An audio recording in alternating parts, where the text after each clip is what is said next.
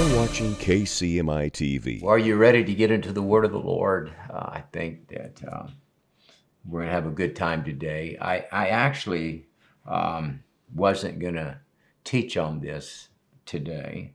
And uh, the last couple of days, I just can't get away from it in prayer. I really felt a mandate from the Lord to talk about this. And um, I want to talk about the presence of the Lord. And um, forgive me for being emotional. This is something that's uh, very, very close to my heart. Um, there's nothing in my life, and I think that many of you would say the same thing, that that has higher value to us than being in the presence of God whether it's in an individual setting in prayer or um, or in the church. And so, um, you know, the presence of the Lord, there are really no words uh, to be able to to describe it, to capture the essence of what the presence of God is. And you would you would ask one person, "What's the presence of the Lord?" and they would they would give you a description and then you would ask somebody else and they would give you something totally different because the presence of God is is it's so large it's forever evolving it's it touches us and it's different um, depending on where we are in our life whether we're on a mountain or we're in a valley, uh, when we encounter the presence of the Lord, it will manifest. He will manifest Himself to us different. And so, um, I I think that, uh, and we'll talk about this as we get on into this podcast, but um, I don't think that there has been the value on the presence of God that there should have been, and that could be why the church and the nation is in the trouble that it's in. I think of the verse where the psalmist said this Oh, in thy presence is fullness of joy. And, you know, I, have been in services where um, there was a highlight in the service, or, you know, you left and you thought, well, that, that was good. But in the presence of God, he didn't say there's just a moment where you feel a goosebumps or whatever. He said there's a fullness of joy, there's a complete joy. The presence of God satisfies the soul of man like nothing else. There's, it's incomparable. Uh, you can be in a very deep valley and you know whether it's you can't pay your bills or you're troubled with a child or you're dealing with a very serious sickness in your body and you can get in, in the presence of the lord and it's almost like it gives you amnesia you, you just forget about because i think the presence of god what it does he just it, he raptures you up. He, he elevates you up into his realm, and you get in the presence of the glory of God. And, uh, you know, when you read in the scriptures about uh, the angels in the presence of the Lord and the four and twenty elders, the four and twenty elders, they had great accomplishments. We know this because they wore crowns. But when they got in the presence of God, everything all of a sudden that they had accomplished seemed so insignificant just just metal.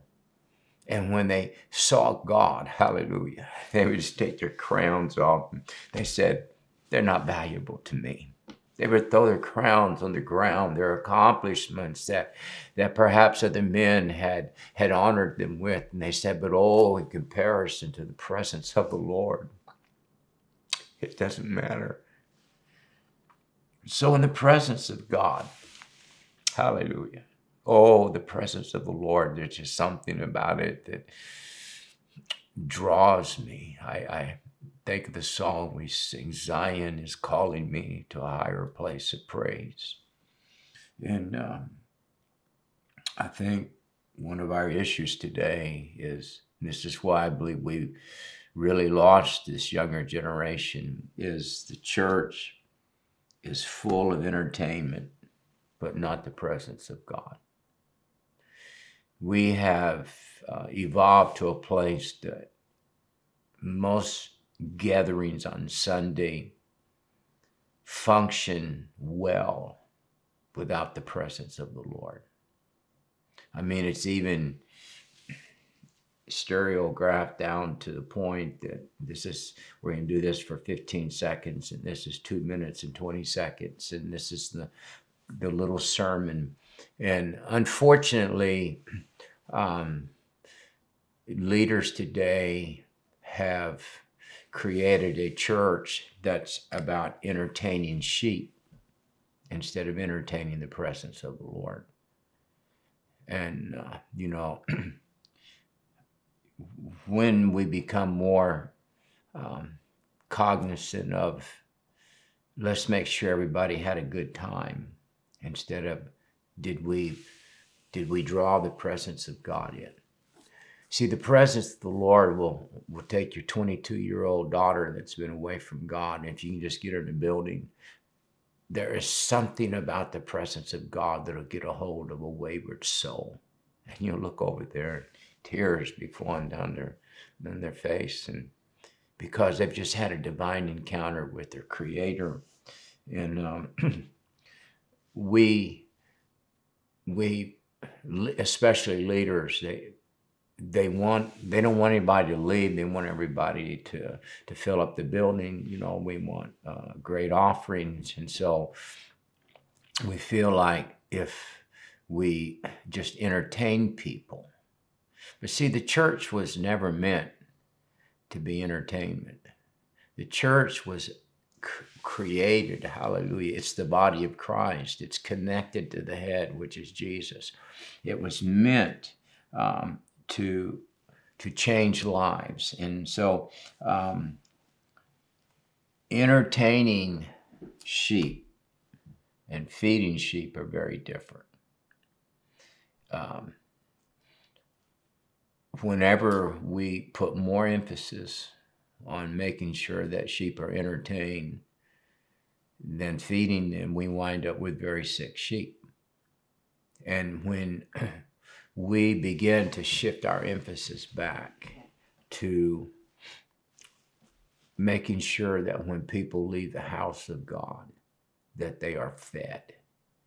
And, you, and, and, and the scriptures, it talks about the bread of his presence. And see, when, when you can create an environment uh, where the presence of God comes in, people you automatically you begin to feed on the things of the Lord. And you know, over the years, especially traveling, I got so frustrated over the years uh, with what with what I saw was called worship, and it wasn't worship. You know, it was just entertainment. And um, a lot of times, it seemed like the the worship leader was doing a solo, or we were singing songs that were so wordy the congregation couldn't sing them, or they were so complicated they couldn't flow with them. Uh, worship, um, when you read where, like in Solomon, when he's dedicating the temple of the Lord, because prior to that dedication, you know, they finished it, but there wasn't any presence of God in that building. And so the Bible says that what they did was they begin to sacrifice flesh. The amount of animals that, that Solomon sacrificed that day uh, in worship to God to entreat his presence was in the hundreds of thousands, the amount of flesh that was killed. Um, one of the things that will draw God into your personal prayer life and into our corporate gatherings. It's when we take our flesh and we sacrifice it unto the Lord. And, um, you know, when flesh um, is burning, there's a smell to it. But when we, off, when we offer our flesh as a sacrifice unto God, our God is a consuming fire. It is a sweet smelling fragrance to the Lord because when we begin to offer it to the Lord in sacrifice, it takes on an aroma that is pleasing to God.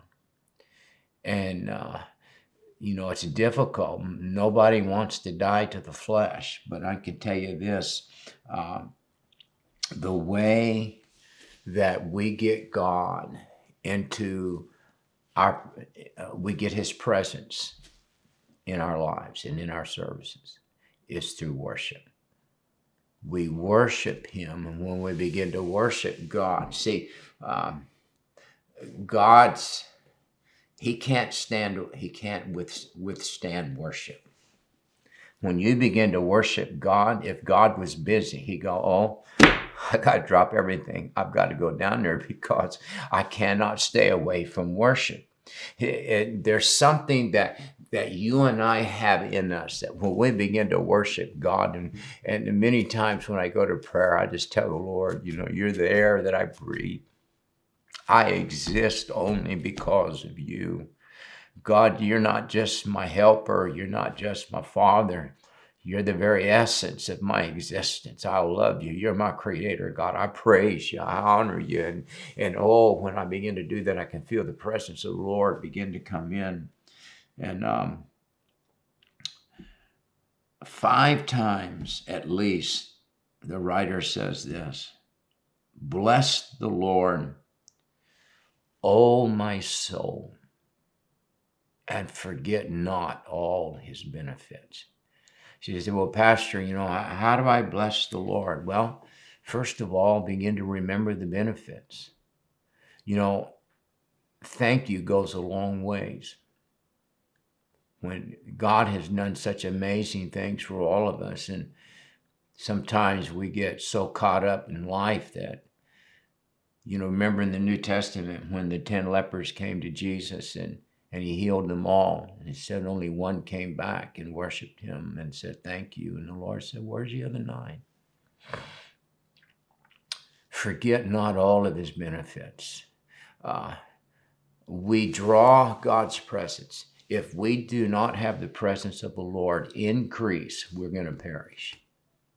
If we do not have churches, if we do not have ministry, if we do not have pastors who begin to go back and put the priority on the presence of God, uh, we're not going to make it. And, um, you know, sometimes you will ladies will or uh, you know uh, will want to invite somebody over to the house have a guest and we're going to have a dinner the preparation that you go through is determined by the value that you put on the guest if it's somebody that you just you're not really that excited about you know you're gonna throw out a quick salad and, and, and macaroni and cheese and a store-bought cake from kroger's but if there's somebody that you really value, you're going to take time.